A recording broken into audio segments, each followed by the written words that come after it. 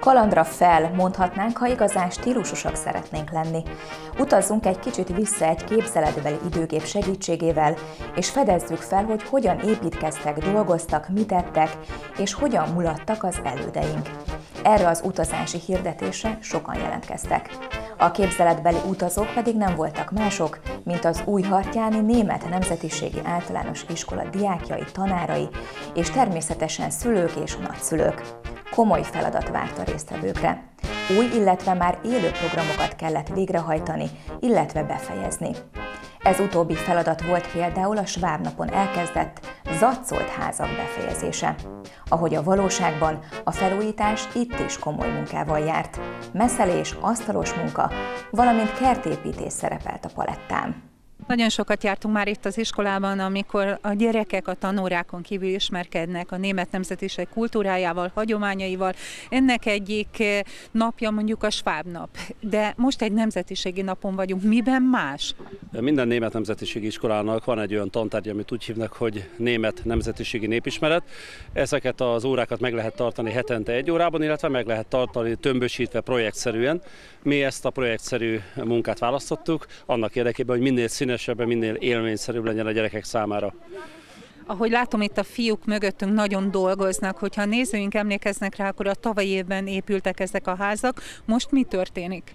Igen, ebbe a népismeret tanterbe szervesen beilleszkedik a házépítés, az őseink házépítési módszere, ugye sáraból, vályokból építették 1500 évvel Újhartyánban is a házakat, szóval ennek a, az őszi házépítésnek a folytatása látható most.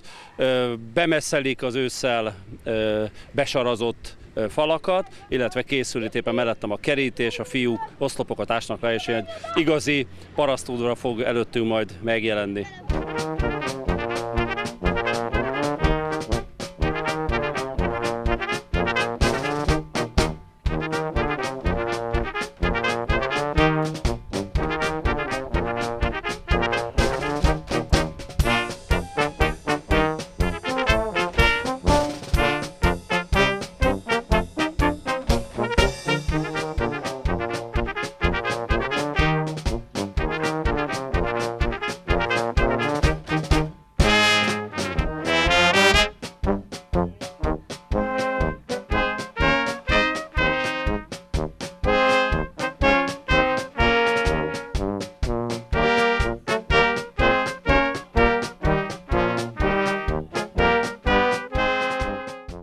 Népismeret tantervre van fölfűzve.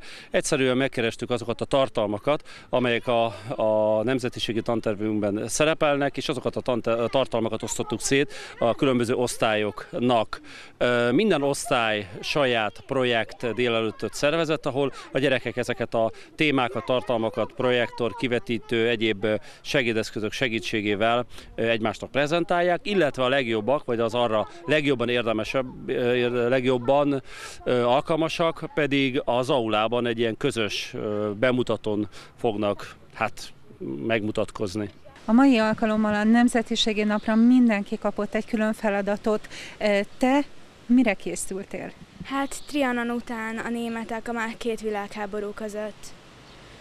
Ez egy komoly történelmi téma. Hol találtál hozzá anyagot? Hát a történelem tanárnő segített, és az interneten. A Wikipédia és a tovább, több oldal. Mire korlátozódott? Tehát mennyire volt fontos, hogy hartyán vonatkozásában is találj valamit, vagy pedig országosan, tehát Magyarországra vonatkozóan? Kollektív az egész ország, mert magyar, a új hartyáni németekről nem nagyon volt anyag. Mi volt számodra érdekes, amikor ezzel az anyaggal dolgoztál? Hát a, az, hogy mennyire elnyomták a németeket akkor, amikor a két világháború között, és hogy mennyire rányomta a bélyegét az első világháború erre az időszakra. Mennyire nehéz téma ezzel foglalkozni? Hát elég nehéz, mert nincs sok anyag, és a, abból a kevés anyagból viszont csak a lényeget kell kiszedni. A többiek ugye azért egy nyolcadik osztály végén mit értenek meg ebből a dologból szerinted, hiszen a, nem csak a magyar történelemnek, hanem a világtörténelemnek egy nagyon nehéz időszaka ez. Igen, a többiek inkább ezt a korszakot így elviccelik meg. Nem veszik komolyan, de akit érdekel, az, az viszont nagyon szereti. Mi az, ami számodra a legmeglepőbb volt a kutatás során? A, az elhurcolás, a, a, hogy mi, a kényszermunka, a, a büntetés a második, az első világháború után, és hát ez, hogy mennyire rossz volt azoknak, akik, akiket büntettek. Magáról a Nemzetiségi Napról mi a véleményed, hiszen ez azért teljesen más, mint amikor a tanórán csináltok valamit. Hát igen, itt, a, itt az egész, egész felső tagozat itt van, és a, sokat kell rá készülni, sokkal jobb, mint mondjuk egy, egy történelem óra, vagy bármilyen témájú csoport. Vannak osztályok, akik sütnek, vannak, akik ugye olyan feladatokat választottak, ami a nemzetiség történelmével van kapcsolatban, de ebbe hogyan tudnak a kicsik bekapcsolódni? A kicsik az alsó tagozatosoknak kevesebb az óraszámuk, nekik is egy speciális tantervük van, amiben szintén vannak tartalmak. Hát ezek különböző manuális foglalkozások, olyan, olyan tevékenységek, amelyeknek valami köze lehet a régi játékokhoz. Ugye a tornateremben egész előtt tánctanítás folyik, különböző manuális tevékenységek, ahol a gyerekek kipróbálhatják az ügyességüket.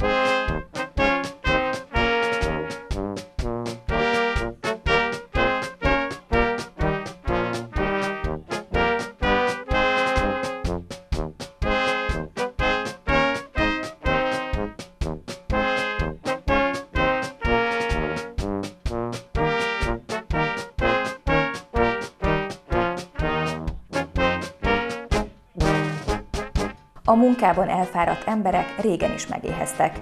Egy-egy fárasztó nap után jól esett hazatérni, ahol a sparhelten gőzölgő étel látványa már megnyugtatta az éhes gyomrokat. Ez mára sem változott. A tepsiben sült étel illata egy karéba gyűjtötte a kíváncsi gyomrokat.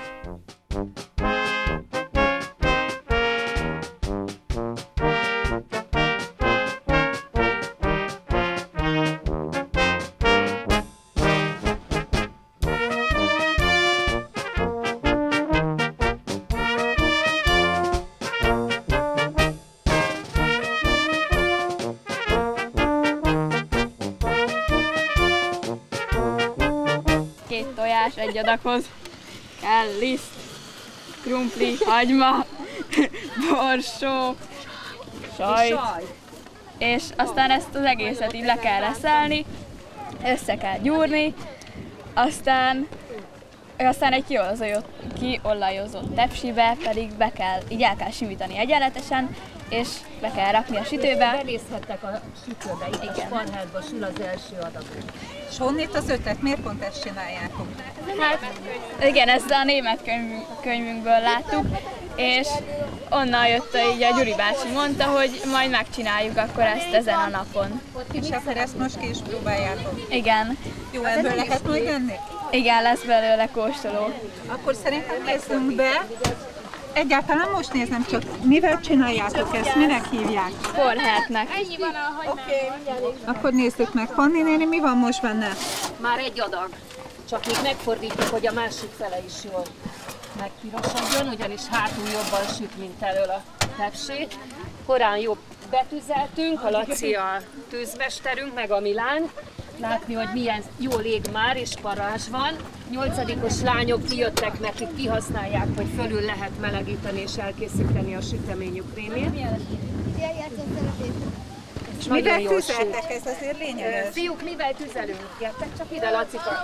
Fával, csutkával, Pirtlivel. Pirtlivel. Ugye fölaprított pirtlivel gyújtottunk. fákat. Ugye papírt raktunk bele, és tápláljuk a tüzet, hogy legyen. Mi ez a pirtli, ezt meg tudjátok nekem Hát mondani? ilyen feldarabolt fa, amivel be szoktuk gyújtani. Igen. Ö, Mekkorára vágtátok őket, vagy ki vágta Hát őket? Panélni törte össze, ilyen Igen, nagyon, ezt a ilyen Milán ekkora, ilyen ekkora darabokra, a pirtit panélintől hoztuk, itt ezt a két ládat a papa adta, a sparhét is, a sparhétet is a papa adta, Kukorica csuhéval. itt a csuhé,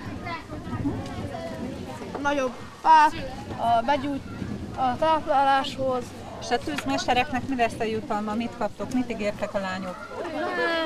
sütit. Kaptok enni? Majd kár, Igen. vagy a krumplis pizzával. Ettetek már ilyet? Igen, Pannéni tegnap hozott be reggel, mert ő már megcsinálta, és hát nekem ízlett. Nekem is. Nem tudom más, hogy gondolják, de nekem nagyon ízlett. A gyerekek a német könyvből találtak egy ilyen receptet, ami krum, nyers krumpli van, állítólag amit matutka, vagy matutka. az én anyám soha nem csinál, de hallottam róla. Matutka. Nyers krumpli, nyers hagyma belereszelve, nyers tojás, sajt, egy kis liszt, meg fűszerek, és akkor azt tettük tepsibe, és azt sütöttük meg, úgyhogy csak már elfogyott a türelmük, nem tudják kivárni, hogy megsüljön, olyan lassan sül a sparheltba. Ilyen sportétba főzt. Ilyen befőztünk is.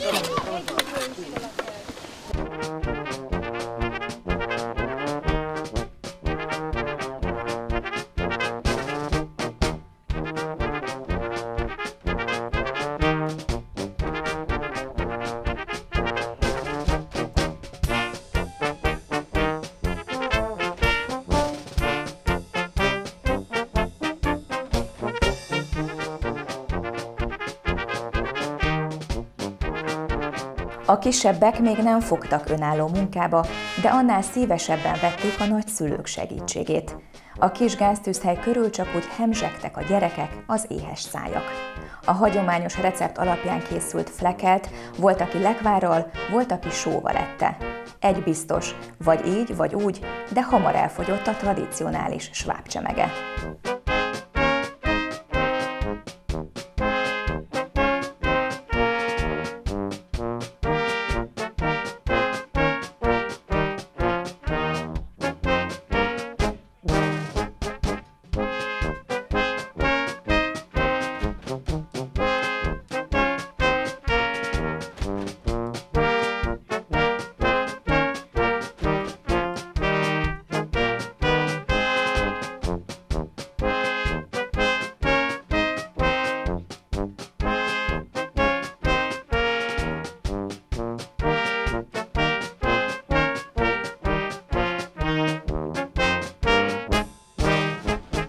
Flekel készül itt az osztályban. Milyen sűrűn készült régebben flekel? Hát drágám, régebben hetenként biztos, de most is két hetente, legalább, de van mikor hetente.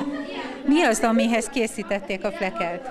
Hát krumplileves az általában, de ahhoz. Az előbb itt Leves, elhangzott. de azért mostanság gulyás levesről is jó utána.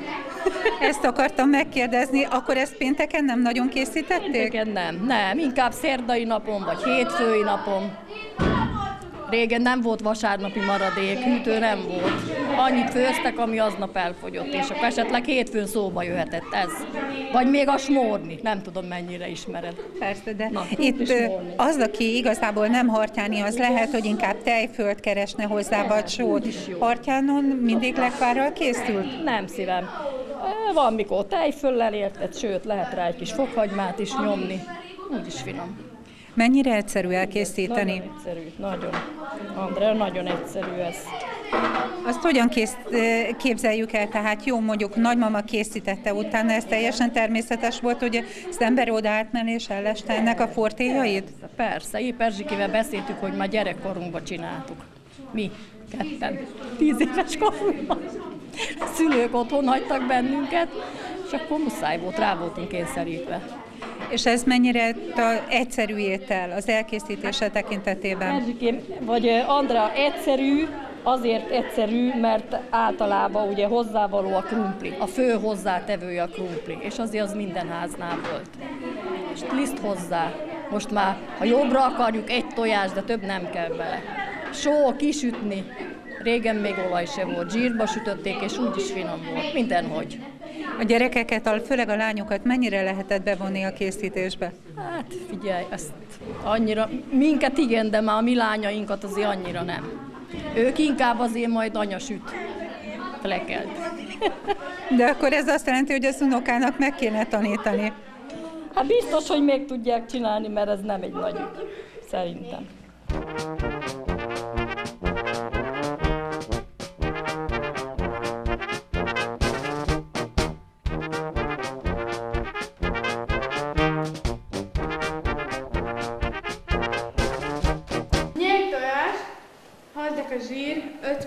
Porcukor, 4 kanál méz, 4 deci tej, 70 deka liszt, 2 teles kanál szódabikarbóna, só. Wow. A csoki meg 6 rá, 3 ráma, 6 deci víz, 12 deka kakaó és 45 deka porcukor. Uh-huh. És szerintem kókuszreszelék is van benne, Igen, igen. Porcukorra. Porcukorral összekeverve? Igen. Wow.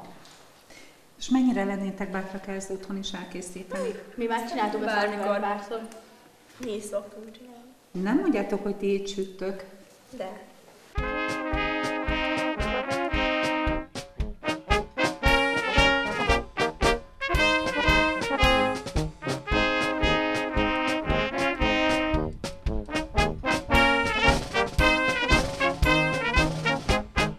A gasztronómiai tudás beható tanulmányozását követően az aulában azok az előadások következtek, amelyek témája a régi kézműves foglalkozásokat, a szabók, a suszterek, az asztalosok munkáját dolgozta fel. Ezekre az előadásokra megérkeztek a nyugdíjas napközi tagjai is. Ők bólogatással, egy-egy múltat idéző pillantással, mosolyjal fejezték ki elismerésüket. Azért az asztalosságról készültem, mert a sok asztalos van a családomban, anyai és apai ágon is. Az apukám is asztalos, a nagypapám is asztalos volt, és az anyukám nagybátyai is asztalosok. Én kézzel lábbal tiltakoztam, hogy én már nem leszek suszter, mert a családban annyi a suszter, hogyha kutyát akarunk elütni, akkor is suszter találunk. Egyébként is legalább 10-15 cipész volt a faluban. Ma egy sincsen. Annyi biztos volt kapásból is el tudok legalább 5-6-ot sorolni. Igen, sorolom akkor. Az apám idejében. Gattyán András bácsi, a bátyám az a vizsgázott cipész segéd volt, akkor a Radóci dinasztia, az öreg Radóci, a Józsi bácsi, a Laci bácsi, ezek mind cipészek voltak. A Friss Gyuri bácsi, az Arlát Tóni bácsi, Tóth Tóni bácsi, uh, akkor na, a Kárpátinak az apja, a Kleneizer, Kleneizer, Kleneizer Schuster. Az Insler Marci bácsi, az már fiatalabb dinasztia volt, az is Schuster volt. Márton Feri bácsi, aztán a Zwilling Stefi bácsi. Mondom. Sok, sok volt, hát persze. Apám azt mondta nekem, mikor tiltakoztam, hogy nem akarok Schuster lenni, azt mondja, vedd tudomásul. Amíg mezítláb születnek a gyerekek, addig Schuster mindig kell a Bognár kordélyokat, kiskocsikat, utánfutókat és kerekeket csinál. Gyerekkori szomszédja is Esztergályos volt, akitől elsajátította a munkát, de mivel nagyon szerette, ezért sok mindenre ő is rájött, és 80 éves korában már csak ismerősöknek és családtagoknak adott a dolgaiból, kis apróságokat, tükröket, tálakat és korsókat. Ebben a faluban, ahol módos gazda emberek laktak mindig, volt igény arra, hogy az emberek olyan ruhákat hordjanak, amik méretre készültek. Van a nyakamban egy eszköz, ugye ez arra szolgált, hogy a pontos méreteket a hölgyekről és az urakról, asszonyokról, emberekről ugye levegyék, és ennek alapján méret után készültek a ruhák. Természetesen lehetett kapni a vásárban kész ruhákat, de nagyon sok ember faluhelyen ezt megmaratta, hiszen úgy tudom, hogy volt erre igény. Az iskolában 1991 óta működik nemzetiségi táncoktatás. Így természetes volt az, hogy a legkisebbek a létra fokain szépen lassan haladva először ismerjék meg játékos formába bújtatva a polka, a keringő, a hops alaplépéseit. A táncban először ilyen indián szönteléssel, úgynevezett a sasszi, fogunk szépen körbe menni, kell nekem három, ha mindjárt mondom, hogy melyik három pár. Az első a virágék, jó, te ti vagytok az elsők, megegyezted? A második ti lesztek, várja maradjuk, a harmadik pedig a dorkáék lesznek a párjával, jó? Harmadikok tényleg majd jegyezzétek meg, jó? Amikor majd gyere Dorka, megmutatjuk, hogy, hogy mit kell majd csinálni. Susolni kell, nézd ide. Így kell oldalazva susolni. Oldalazva. Így. Jó? Majd ezt kell csinálni. Fog menni? Oké. Okay. Na, akkor már is mehet Antti bácsi, abba az irányba fogunk menni.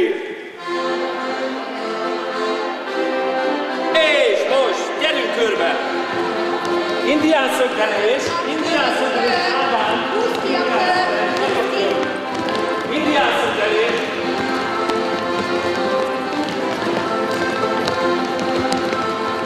Most figyelj, állj meg, utána az engem. Jobb, hal, jobb, hal, jobb, hal, jobb, hal, jobb, hal, jobb. Figyelj, gyere! Hal, hal, jobb, jobb, jobb,